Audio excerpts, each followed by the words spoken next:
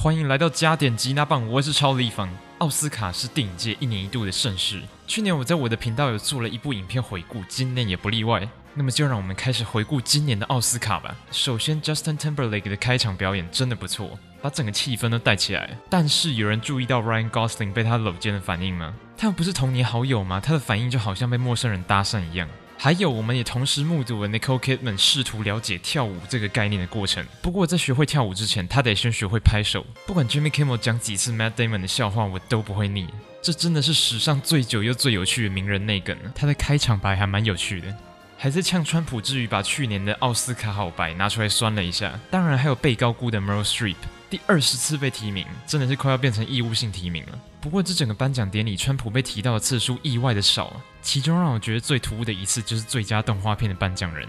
你是在颁最佳动画片呢？为什么要提到川普？今年得奖者其实几乎没有什么特别意外的。马赫沙拉阿利确实是实至名归。我最早是从纸牌屋开始注意到他的，到后来的陆克凯吉，现在月光下蓝色男孩都是截然不同的角色。老实说，月光下蓝色男孩。我认为最突出的部分就是第一部他有出现的部分，他的角色真的非常让人有亲近感，犹如大哥哥一般。今年也在颁演员奖之前第一次出现历年得奖者片段的合集，真是令人看的心情激动啊！今年致辞最大的亮点无疑是女配角 Viola Davis，讲到她自己都不知道哭到哪里去了。但是他在说有一个地方集结了所有最有潜力的人，我本来都已经准备好他会接好莱坞了，但是他竟然说了墓园，害我整个 啥？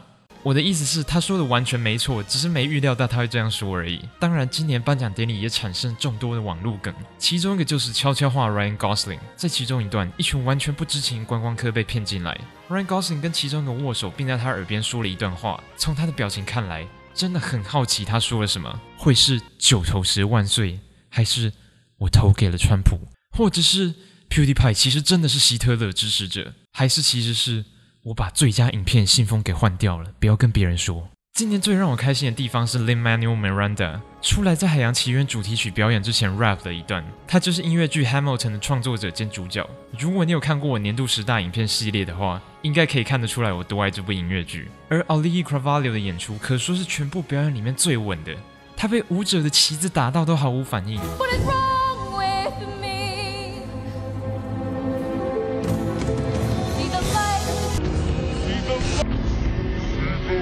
不过有点小失望的部分是，《越来越爱你》的歌曲竟然不是由 Ryan Gosling 和 Emma Stone 演唱。别误会，John Legend 唱的非常好，但是我相信 Ryan 和 Emma 绝对有实力现场演出的。Ryan 之前当过乐团主唱，Emma 也演出百老汇音乐剧。有人注意到这首歌表演时后面舞者有些是电影开场的舞者吗？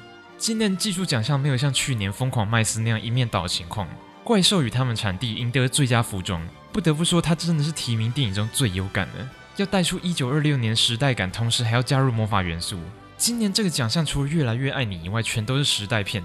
这里想要稍微解释一下混音和音效剪辑分别，因为似乎有许多人不知道其中的分别。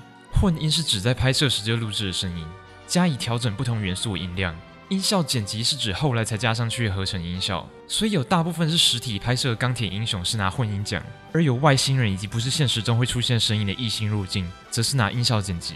我们可以谈谈《自杀突击队》现在是一部奥斯卡电影这件事吗？很多人把这件事当做一件天大喜事一样。我在好几个留言区都看到 DC 粉拿这件事来呛漫威电影，这是装法奖，冷静一点，人们。不过我得承认，杀手二和魅惑女巫的化妆的确是很惊人。虽然星际争霸战的外星人头一点也不逊色，就是纪念片段真的是提醒了我们2016带走多少巨星。尤其 Carrie Fisher 又在最后一位，配上他在《原力觉醒》的台词“愿原力与你同在”，真的是。让人完全顶不住啊！现在欢迎提名五次的 Amy Adams，影医学院你还真好意思说这句话？人家今年两部极为出色的电影《异星入境》和《夜行动物》都没被提名，要不是你们找他来颁奖，我还以为你们都把他当空气。越来越爱你今年抱走六个奖项，包含配乐、原创歌曲、摄影、场景设计、导演、女主角。虽然月光下蓝色男孩的运镜是带有许多讯息，没有错，但是越来越爱你犹如舞蹈一般的镜头，这真的是不可或缺的元素，完完全全紧抓住观众的目光。也恭喜 Damien s h a z e l l 成为史上最年轻的最佳导演得奖者。这部电影所需要的调度功力的确非常惊人。题外话，我在看了颁奖典礼之后才知道 Denis Villeneuve 的名字怎么念。以前我都说 Dennis Villeneuve。说实话，我本来十分笃定会是 Isabel Huppert 的女主角奖啊。她在她的危险游戏中的演出，就让人害怕，但是又移不开目光可以形容。通常一般的演员都会试图让观众理解一个角色的动机和心境，她不是，他们完全不在乎你怎么想，这就是最高明的地方。不过奥斯卡向来很少把奖颁给外国演员，所以也不是特别意外就是。我们现在可以谈那件事了吧？你知道我们总得要谈那件事吧？来吧，当时情况是这样的：Warren Beatty 和飞刀那位上台颁发最佳影片，他们犹豫了大概十秒钟，但还是念出了“越来越爱你”。随后在满堂的欢腾之中，许多观众都错过他们说的极为关键的一句话。你听到了吗？没有，再仔细听一次。没有错。他们在刚念出“越来越爱你”之后就说了，上面写 Emma Stone。当时在后台的人如此描述：当时本来气氛很好，直到有人发现事情不对劲。我的天哪，是月光下蓝色男孩！舞台总监说。时间一分一秒过去，越来越爱你已经轮到第三个制作人致辞。Oh my fucking god！不是越来越爱你，是月光下蓝色男孩。他们拿错信封了。后台幕后人员抱头大喊。此时全场陷入骚动。Emma Stone 在台上说：“Oh my god！Oh my god！” Ryan Gosling 则在一旁贼笑，难道信封真的是他换的？顺带一提，我们输了。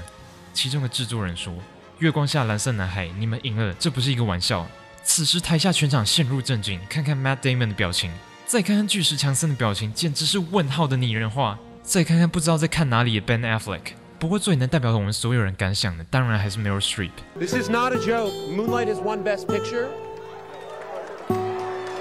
Moonlight, Best Picture.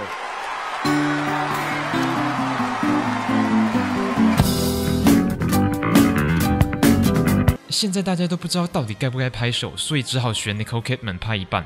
不过说认真的，他好像是因为怕伤到戒指，所以才这样拍。不过说更认真的，如果那个戒指真的这么容易被伤到的话，大概也没有很值钱吧。此时月光下蓝色男孩剧组才回神过来上台颁奖，可怜的对面史秀显然完全无法置信，还愣在台上。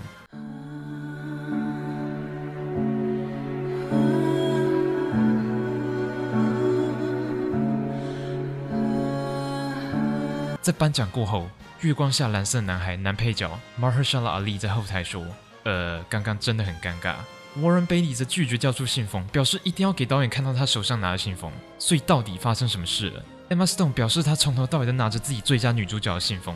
根据报道，当时负责交出信封给颁奖者的会计师。因为忙着发推文，所以将错的信封交给 Warren Beatty。因为每个奖项都有准备两个信封，以防万一。不过 Warren Beatty 看到上面写着大大的 Emma Stone，竟然也没有说什么，就这样交给飞刀那位。之后奥斯卡也表示不会再与这两名粗暴会计师合作。于是奥斯卡史上最大的乌龙就这样落幕了。感谢今年奥斯卡又诞生了无数的网络梗。想要看到更多电影讨论以及资讯，你就来到对地方了。加点吉拿棒，看电影可以只是娱乐，但是和。